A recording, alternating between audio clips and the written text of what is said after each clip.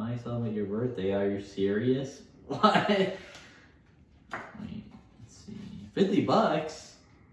Let's see. Can you look up at me?